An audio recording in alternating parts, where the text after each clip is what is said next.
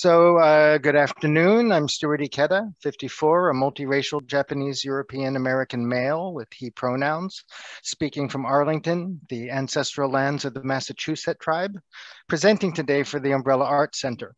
And again, I'm grateful for the support of my several dedicated colleagues and board members who have been contributing to this project all along today. Um, okay. So the Umbrella is a mission-driven, multifunction nonprofit art center in Concord, Mass. It's built on the original homelands of the Nipmuc, Musketaquid, and Massachusetts tribal nations, with a mission to enrich lives and build a vibrant and inclusive community through the arts. We're home to vibrant programs in arts education, performing arts, visual art galleries, a distinctive Musketaquid Arts and Environment program, and home to over 55 studio artists.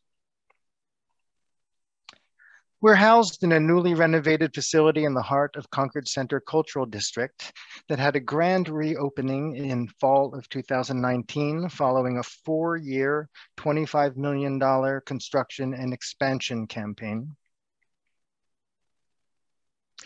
The campaign was necessitated by our 1929 building's age, lack of renovations, and highly limited accessibility. At the front entrance, visitors were met by a daunting array of multiple stairs and landings to enter the gallery and studios on what is today our second floor. We had one poorly functioning elevator, we had non-compliant room design and signage. We had inaccessible toilets. Our increasingly successful award-winning performing arts program was housed in an infamously uncomfortable and inaccessible, air quotes, theater better suited for student assemblies than for performing arts experiences. In 2019, we launched our new professional stage company in a state-of-the-art multi-theater facility with expanded wheelchair accessible seating, backstage areas, green rooms and bathrooms, and well outfitted with assistive devices with ramps inside and out. Other changes included new walkways and entryways, parking plans, landscaping, elevators, accessible signage, dance studios, classrooms, gallery spaces, all designed for safety, ergonomics, green energy practices, and full compliance with accessibility and code requirements. Designed at the heart of the building, connecting all of our programs is an open, airy, ramp accessible lobby and art gallery. The concept was to create Concord's living room with free entry, comfortable furniture, public Wi-Fi, accessible bathrooms and signage, where people could relax, meet, and engage with art freely. At our grand opening in fall 2019, we celebrated our new facility that felt so much more inviting and welcoming. But despite improvements, there was recognition, especially among younger staff, that our programs, audiences, and active community lacked diversity. The reality of our community is this. Concord is 91.64% white, likely higher as census figures on the non-white population percentage are skewed by including the incarcerated prison population in town. The vast majority of our staff, advisory, board, resident studio artists, and audiences are white.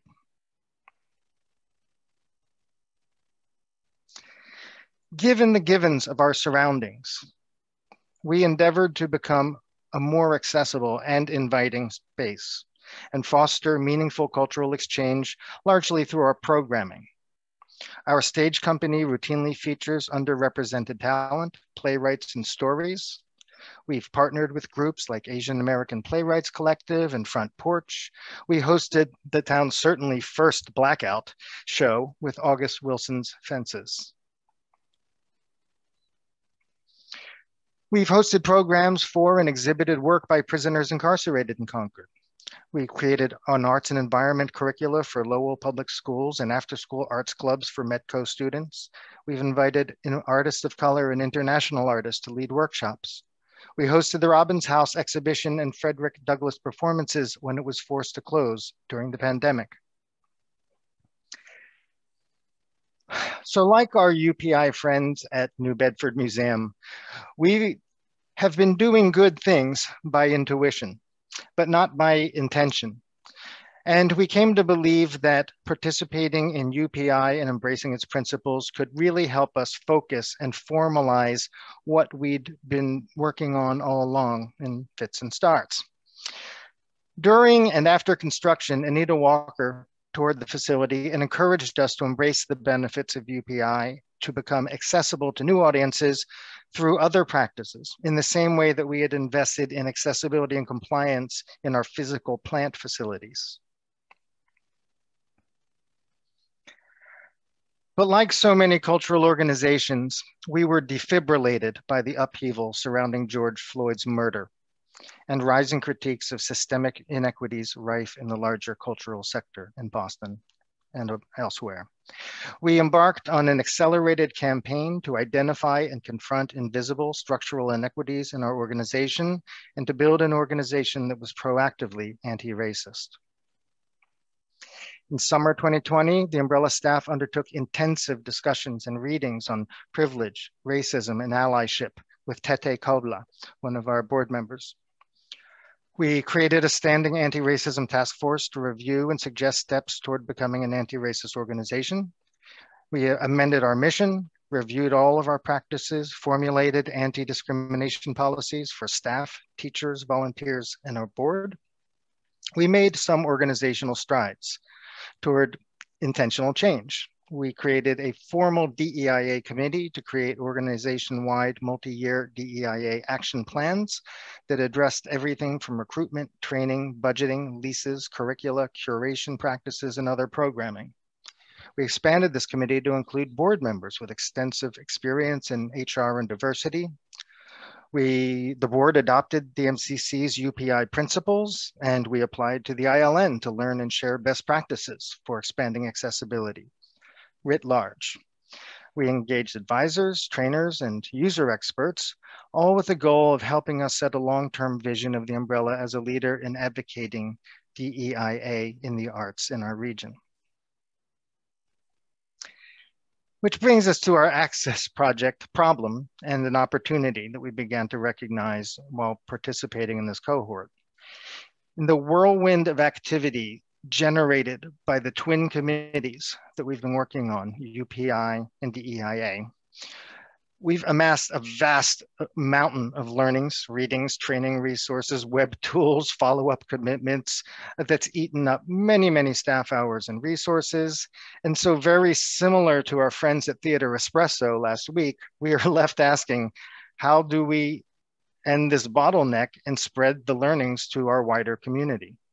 Can we efficiently meld these efforts to more effectively and sustainably communicate both internally and externally to let audiences know what we've been doing.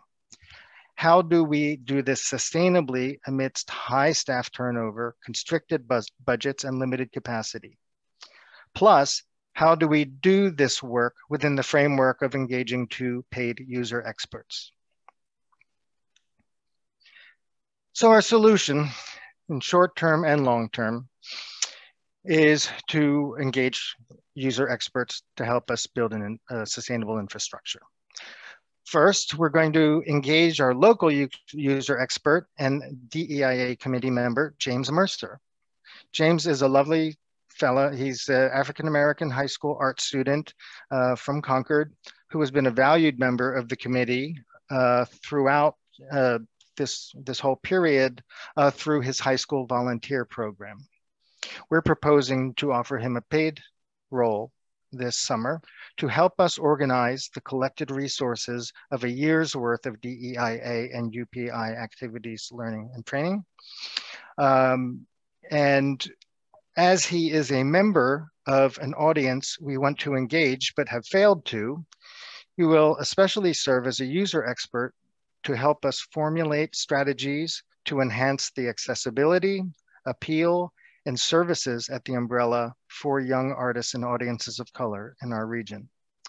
We're already talking about one exciting uh, potential project for him uh, to continue to engage him even into the fall in the next school year. James is invited to collaborate with artist, teacher, and activist Nada Cuevas to organize a protest and social justice themed gallery exhibition featuring diverse high school artists from all around the region. In the medium term, James's organization project uh, to create a DEIA library uh, for us will help us package and distribute the resources that we've been collecting to the staff, board, and others for training purposes, onboarding, and so forth. The library will inform our work uh, in the staff as we embark on restaffing, strategic planning, and program reevaluation this summer as we uh, get ready to reopen. The library will also assist in the discovery process by our second user expert, DEI Arts Consulting. They're a Philadelphia-based diversity consulting firm specializing in research and training specific to arts organizations. We are engaging them to survey our community, audit our practices, and bring focus to our long-term goals, including our UPI goals, and plans for formalized ongoing training of staff and board and evaluation of the EIA.